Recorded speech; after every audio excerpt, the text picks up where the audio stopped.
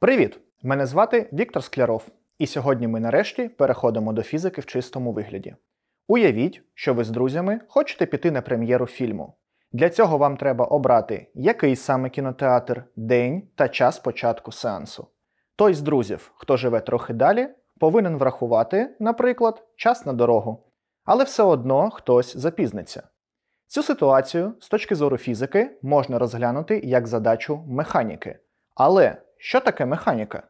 Механіка наука про механічний рух матеріальних тіл, комусь пройти 100 метрів, а комусь їхати через усе місто, і про взаємодії, які при цьому відбуваються між тілами, запізнення через затор тощо. А основною задачею механіки є пізнавати закони механічного руху тіл, взаємодії між тілами, передбачати поведінку тіл на основі законів механіки, визначати механічний стан тіла, координати та швидкість руху у будь-який момент часу. Тому така базова річ, як зустріч з друзями, охоплює добру частину нашої науки. Проте, у даний момент нас цікавить не вся механіка в цілому, а її розділ, що має назву кінематика, і вивчає рух тіл, і під час цього не розглядає причин, якими цей рух викликаний. Окрім кінематики, механіка містить також розділи динаміка, що вивчає рух об'єктів під впливом сил, та статика, що вивчає умови рівноваги фізичних тіл, що і зображено на екрані. Правда, про ці розділи ми будемо говорити на наступних уроках, хоч і не дуже скоро. Кожну секунду ми з вами рухаємося, йдемо за продуктами, граємо в баскетбол, крутимося у вісні.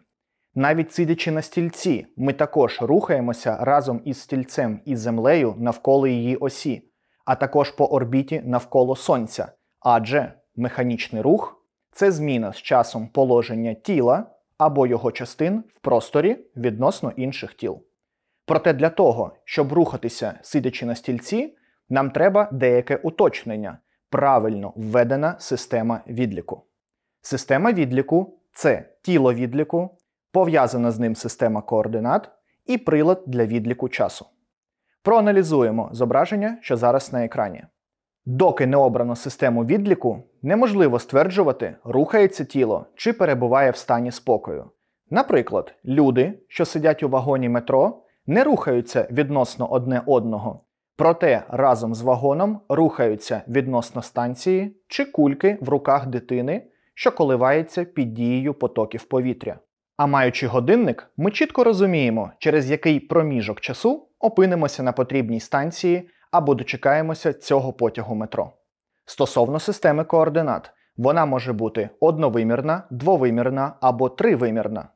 Однієї координатної вісі ОХ достатньо, коли, наприклад, автомобіль рухається по прямолінійній ділянці автобану.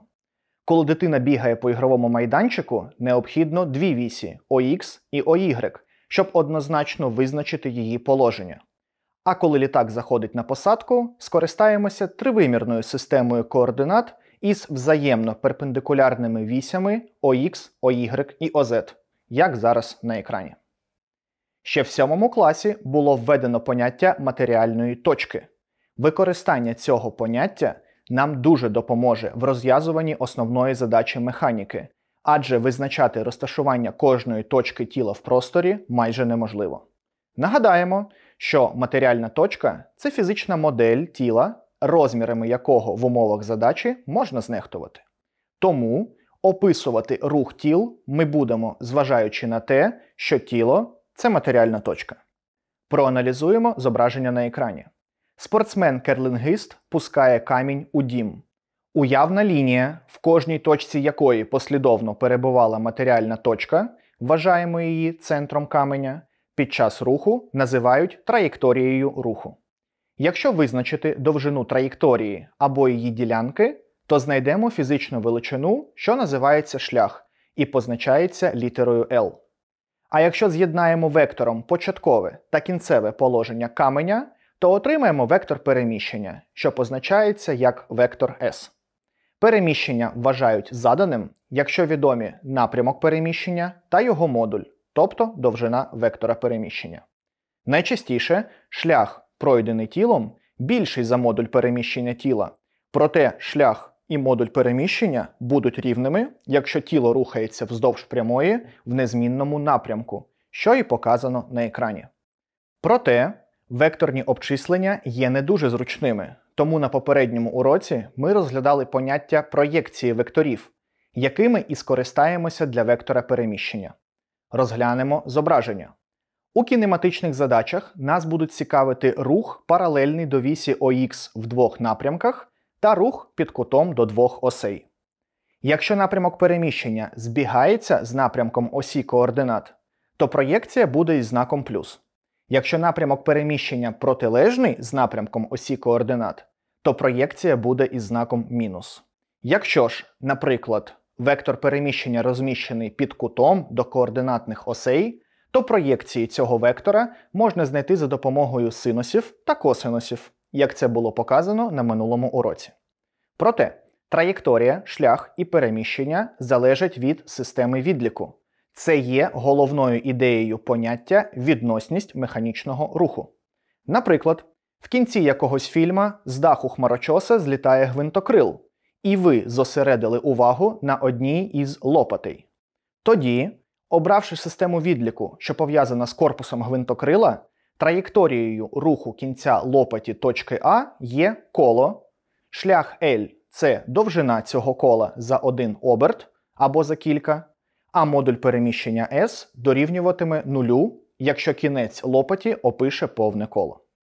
У випадку ж вибору системи відліку, що пов'язана з дахом хмарочосу, траєкторією руху буде гвинтова лінія, шлях L довжина цієї гвинтової лінії, а модуль переміщення S це висота, яку набере гвинтокрил, що і показано на екрані. Отже, за формою траєкторії механічний рух може бути прямолінійним, коли траєкторією є пряма лінія, і криволінійним, коли траєкторія це крива лінія. Головне, про що не треба забувати, яку б систему відліку ви не обирали, інтервал часу між двома даними подіями буде однаковим за умови, що швидкість руху тіл є значно меншою за швидкість поширення світла у вакуумі. Це важливе положення класичної механіки, оскільки саме за таких швидкостей вивчають рух тіл у класичній механіці. А можливо, ви чули таке поняття як релятивізм? Так ось, в релятивістській механіці все працює трохи інакше, і про це ми згодом поговоримо. Отже, на сьогоднішньому уроці ми проаналізували, що базові речі, до яких ми звикли, спираються на фізику, що в метро та іншому транспорті треба розуміти, що сидячи, ми все одно рухаємося. І все в цьому світі відносно, відносно того, що ви оберете і чим себе оточите. Тому оточуйте себе хорошими людьми, обирайте правильні думки та ідеї, і тоді фізика вас буде тільки заохочувати до нових знань. А на сьогодні в мене все. Дякую вам за увагу і до нових зустрічей!